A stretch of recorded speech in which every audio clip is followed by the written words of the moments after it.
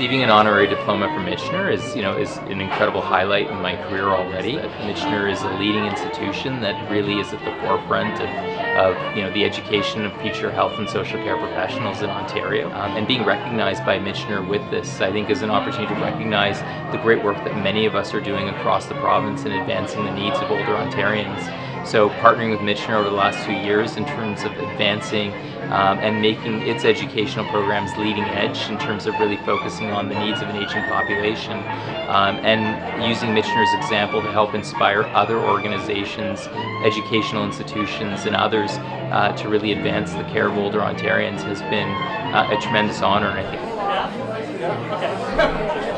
well, I'm uh, very impressed with him uh, as an individual, uh, but probably even more so the kinds of things that he's trying to do for the system and the fact that he's demonstrating not only leadership but also a willingness to have partnerships really engaging organizations like the Michener to be part of his plans and his vision and so on and to have others kind of take ownership of that vision in the seniors area. So I was really pleased that we could acknowledge that this evening. Our leaders are lead and our leaders are transform. And in a changing healthcare environment, you need the latter more than the former. Samir has been a catalyst for the transformation. We really care about a lot of our population that we treat within the rehabilitation system is the elderly. We're trying to make sure that every minute of their life is fully spent with their families, their loved one, doing things that they enjoy. And Dr. Sinha has really helped with his policy levers, uh, getting us on the way to achieve that in the province of Ontario.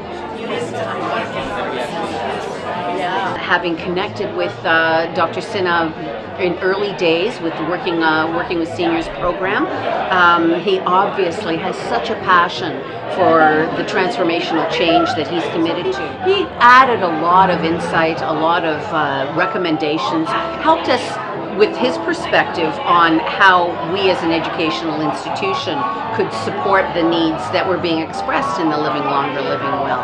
Samir, each time I meet with you, I'm inspired, I'm excited, and I'm committed to your vision of comprehensive and compassionate senior care. You're an innovative educator and you have coached and mentored countless young healthcare professionals as they work and develop their skills in dealing with seniors in various clinical environments. We are so pleased that you've joined us and you've become part of the Michener family, and we're very honored that you've accepted it. Courage and leadership are the catalyst of change in healthcare, and change itself is the catalyst of innovation.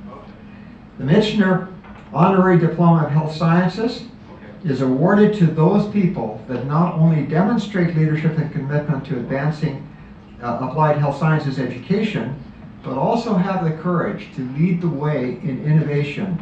Wow, um, what an honor to be here today, and uh, and what a pleasure to be surrounded by so many supporters and friends. I just want to say thank you so much again for believing in me, for believing in us, and believing in this idea, because we really have been making change, and I'm glad to have just been one part of it. So thank you. The fact that Michener is creating an advantage for its graduates and making sure that they are now actively prepared to meet the needs of an aging population just shows how Michener has always taken a leadership position in the field of education um, and uh, and certainly uh, continues to do that now with the work in its Working for Seniors curriculum as well.